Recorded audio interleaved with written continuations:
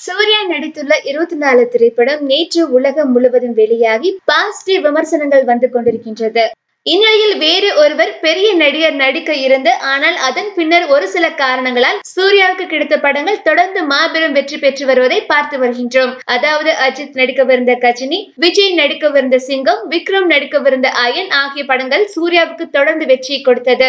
அதே போலவே தற்போது வெளியாகி இருக்கும் இருபத்தி நாலு திரைப்படத்திலும் முதலில் விக்ரம் பின்னர் மகேஷ் பாபு நடிப்பதாக இருந்தது. ஆனால் அதன் பின்னர் சூர்யாவுக்கு இந்த வாய்ப்பு கிடைத்தது.